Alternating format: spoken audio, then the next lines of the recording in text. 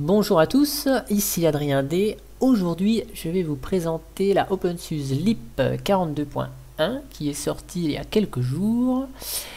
La OpenSUSE LIP est une version dite en publication régulière qui est donc plus stable que la OpenSUSE Tumbleweed que j'ai testée euh, il n'y a pas très longtemps et pour laquelle j'étais fâché. J'ai fait une euh, installation en mode français et au moment de l'installation, j'ai coché les cases euh, des dépôts non OSS qui doivent correspondre aux dépôts non free. Donc selon le site euh, Alionet, qui est la communauté francophone d'OpenSUSE, euh, on nous dit que la OpenSUSE LIP 42.1 est équilibrée et fiable. Eh bien, on va voir ça tout de suite. Alors, je lance la distribution. Voilà. Et je vais passer en plein écran. Euh, ah ouais, j'ai laissé le CD dedans. Alors, euh, boot from hard drive disk. Voilà. Et donc, on démarre la OpenSUSE. Donc on a toujours ce thème euh, assez vert d'OpenSUSE. La charte graphique est toujours orientée vers la couleur verte. Et l'écran de chargement est animé. Donc le temps que ça charge, euh, le site d'Alionet que je visualise sur mon deuxième écran nous indique qu'on a KDE Framework 5, donc c'est la version que j'ai utilisé pour l'installation. On a QEMU 2.3.1, VirtualBox 5.06, Docker. Qu'est-ce qu'on a de beau aussi? Donc Plasma 5 en version 5.4.2. On a du GNOME en version 3.16. XFCE en 4.12.1. Mate en 1.10. On a aussi Enlightenment 19.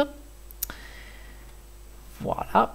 Et il est bon de noter que... Euh, ah, attendez, je suis pas en plein écran là. Ce serait bien des lettres. Voilà, petit bug de VirtualBox. Euh, je disais donc que l'image i586, donc c'est-à-dire 32 bits, n'est plus disponible à l'installation. On ne peut plus installer et télécharger la version 32 bits. Euh, voilà, bon, et eh ben on va faire le tour des nouveautés.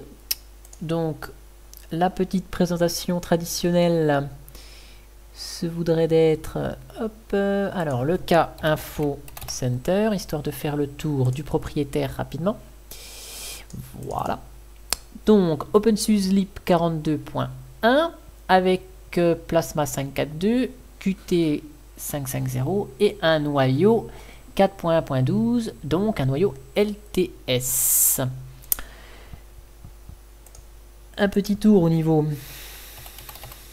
de la consommation euh, mémoire avec la distribution lancée. Donc on est à 410, 420 MO, non, 436 pour être précis, MO de RAM. Donc c'est plutôt léger par rapport à un GNOME qui prend quelques 800 MO de RAM. Ok, alors, on va ouvrir Dolphin pour s'apercevoir que la traduction française, si chère à moi-même, eh ben pour une fois, on est en français avec l'install par défaut, c'est pas mal. Hmm. Voilà, chercher aperçu, c'est un ce mois-ci. Aujourd'hui, documents, images, euh, public, musique, vidéo, téléchargement, tout est en français. Me voilà à peu près réconcilié avec OpenSUSE. Rien que, rien que pour ça, je suis heureux. Donc le menu, on a un menu euh, classique KDE. Côté équipement logiciel, bah, je vais faire euh, dans l'ordre du menu. Donc au niveau de la bureautique, on retrouve notre ami LibreOffice. Est-il en français? J'y tiens hein, à mon français. Mais ce serait bien. Oui Nous avons un LibreOffice 5.0.2.2 donc la dernière version en date aujourd'hui. En français. Trop de la balle. J'ai l'impression que les développeurs d'OpenSUSE ont vu ma, vidéo critiquant euh, ces traductions. Donc voilà, hein, LibreOffice le dernier en date. On a WordView une visionneuse Word, visiblement, tiens. Je connaissais pas ce logiciel. Euh, ouais, d'accord. MS Word Viewer. Mhm. Bon, ça c'est pas en français, mais je le logiciel, ok.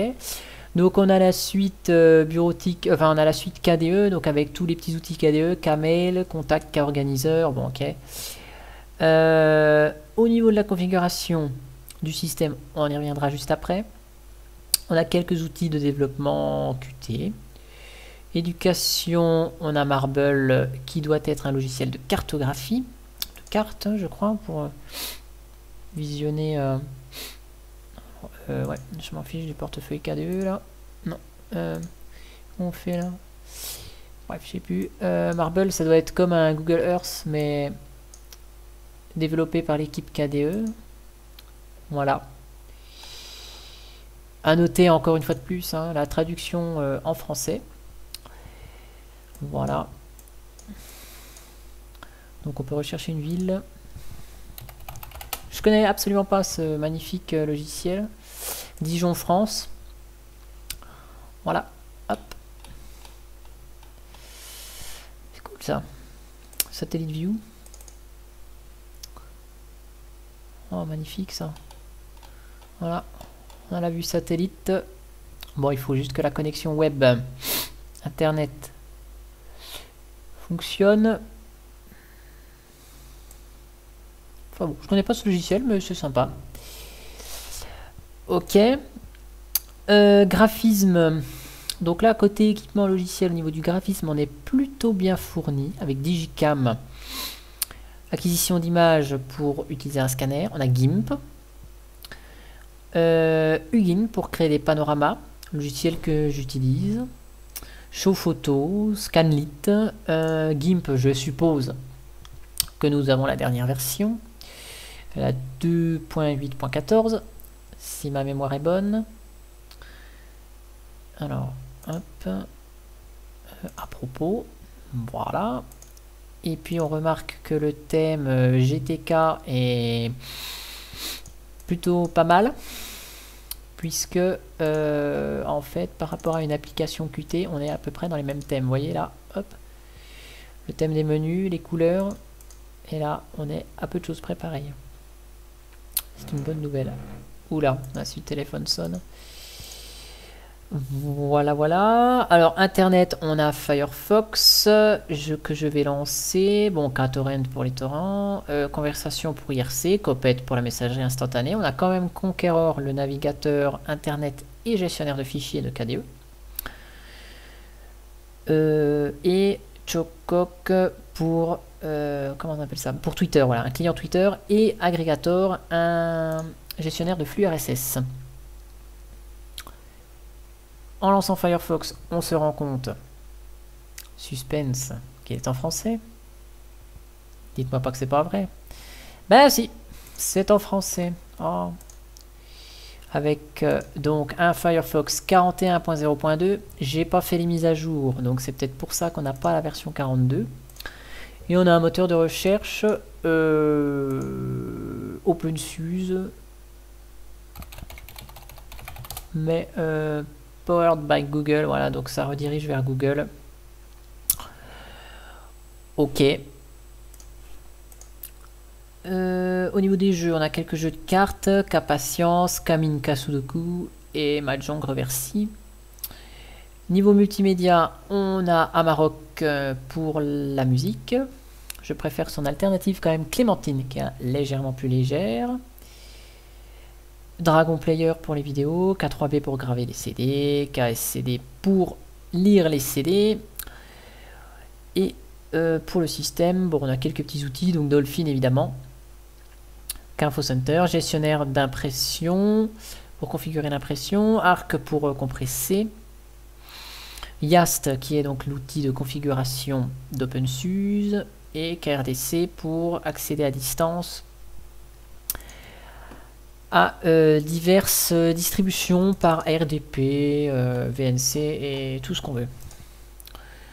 Euh, au niveau du partitionnement, c'est là que c'est un petit peu rigolo quand même. Donc c'est pas évident à voir en fait comment c'est fichu ce partitionnement puisqu'on utilise donc BTRFS.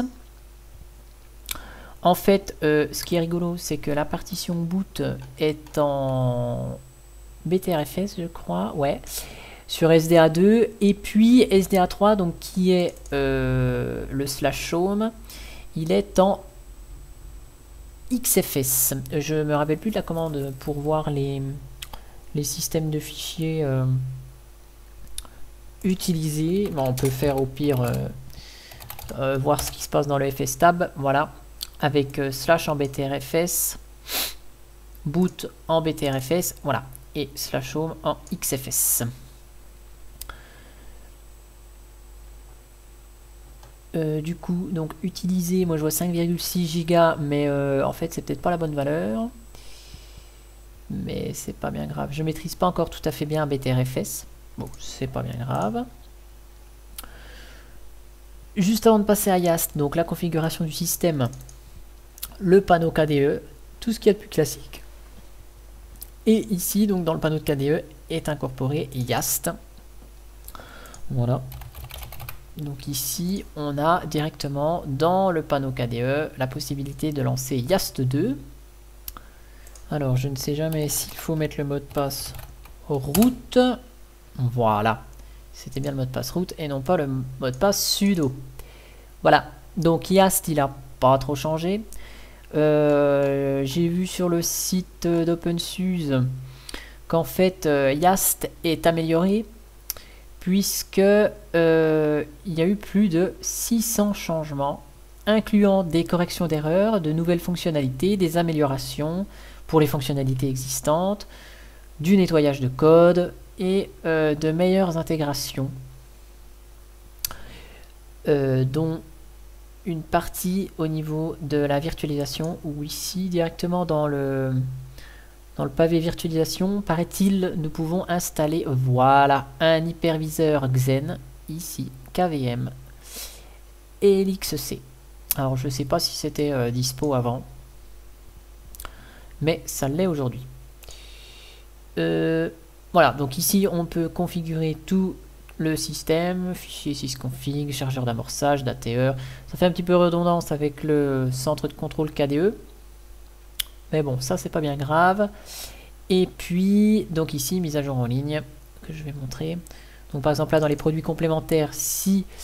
Euh, euh, non, c'est pas ça pour installer des logiciels, je me suis planté. Vous voyez Ça se voit que je n'aime pas trop... Euh, enfin, je ne connais pas trop OpenSUSE. Voilà, je vais... Ok. Voilà, installer, supprimer des logiciels.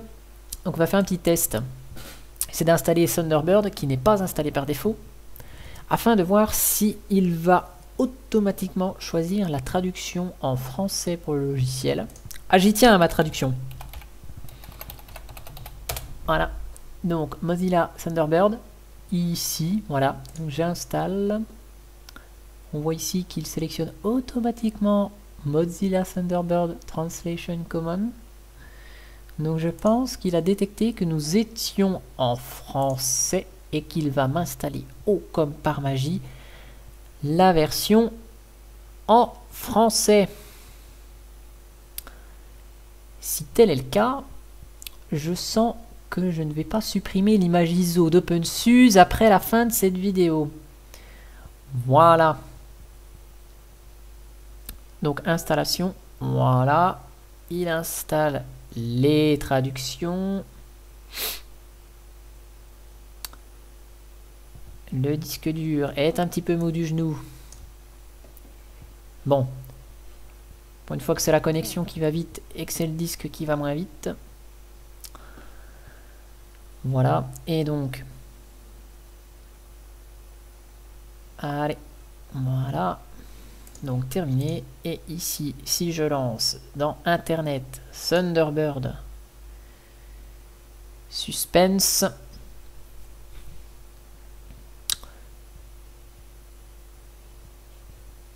Wow. Voulez-vous une nouvelle adresse électronique? Magnifique. Nous sommes en Frenchy. Voilà. Donc, on est en français. Lightning est juste en anglais. Ce qui est bizarre d'ailleurs.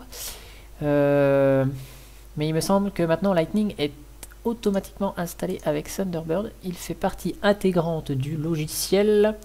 Ça ne doit plus être une extension. Euh, préférence. Il y a peut-être un truc hein, pour le mettre en français.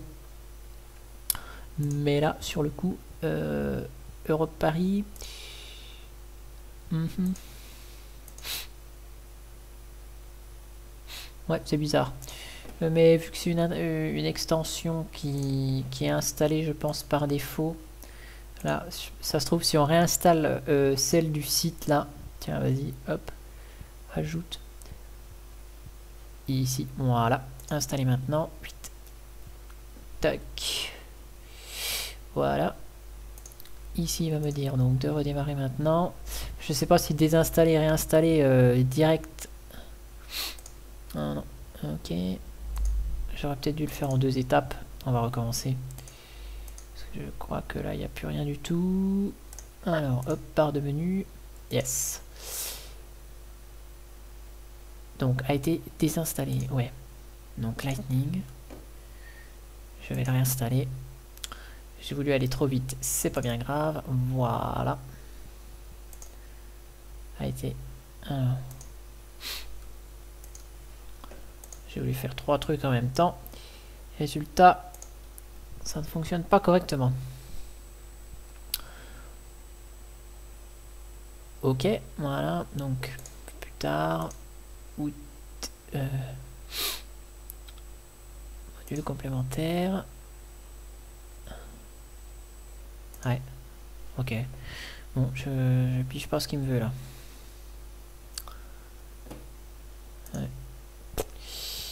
Alors, annuler. Ah, peut-être qu'on peut pas... Euh, Bizarre.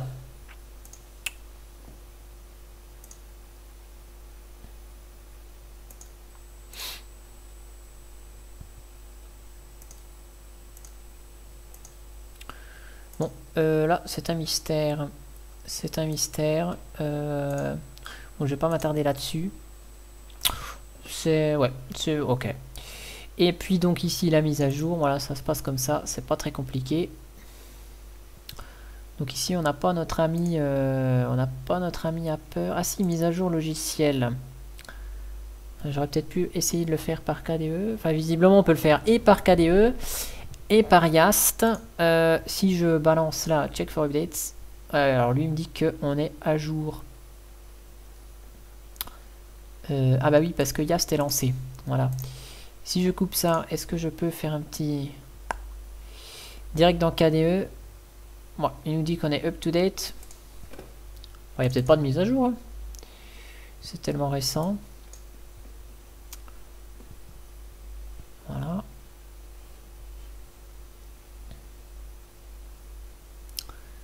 Est-ce qu'il aurait pu être euh, marrant? Si c'est ce que je vais faire, je vais le montrer à nouveau là. Euh, oui, donc il n'y a pas l'air d'y avoir de mise à jour pour vous montrer donc les dépôts logiciels qui sont installés là, euh, vite fait, je vais relancer euh, Firefox pour vous montrer un petit truc, et puis, voilà. Voilà, donc au niveau des dépôts logiciels, donc ici OpenSUSE Update, que j'ai mis là, le dépôt de mise à jour, donc non OSS, et puis le dépôt OSS, euh, non OSS que j'ai mis ici. Donc ça, il me, semble que ce sont les logiciels euh, propriétaires qui sont là-dedans. Ou les codecs MP3 ou les choses comme ça qui sont soumis à licence. Et sinon, donc on va aller sur YouTube pour euh, vérifier la prise en charge du HTML5.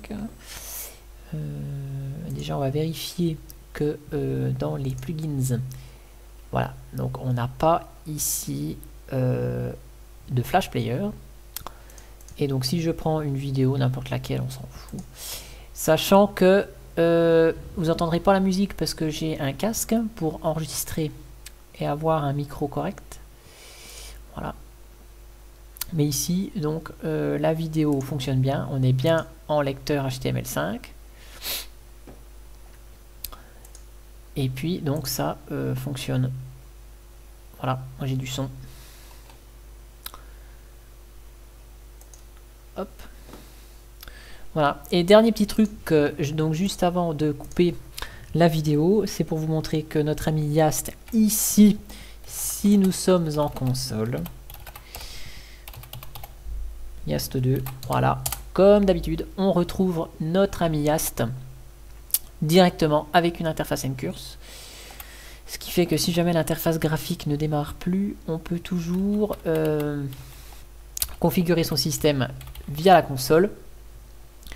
Ou même encore, si on installe OpenSUSE pour un serveur, on peut l'administrer, gérer le, voilà, le réseau, euh, si on veut faire un serveur mail, euh, on peut régler tout ça en console. Donc F9 tout kit. Hop, je me casse de là. Bref, euh, pour revenir donc au sujet de la vidéo ici, on va dire que mon expérience par rapport à OpenSUSE est quand même largement plus satisfaisante. Vous voyez, je suis resté calme juste à la fin de la vidéo en présentant OpenSUSE.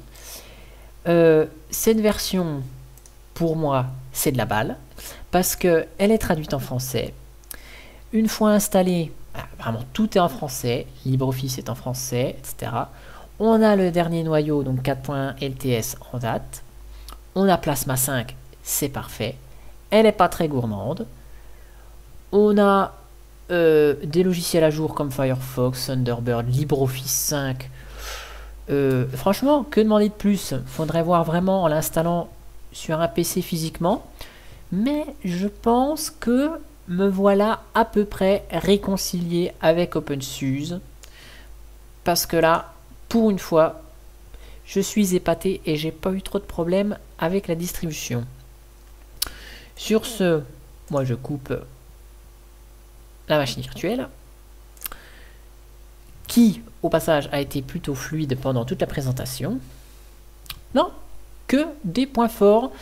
Euh, mis à part le petit bug là dans Thunderbird avec le calendrier qui est en anglais. Mais euh, franchement, on est pas mal. Et on est pas mal je la conseillerais peut-être pas forcément parce qu'il y a des alternatives euh, qui valent le coup aussi. Hein. Mais là, franchement, j'avoue que elle m'en bouche un coin cette OpenSUSE. À surveiller de près. Je vous dis à bientôt pour une autre vidéo qui sera sans doute, attention, sur Fedora 23. Allez, ciao et à bientôt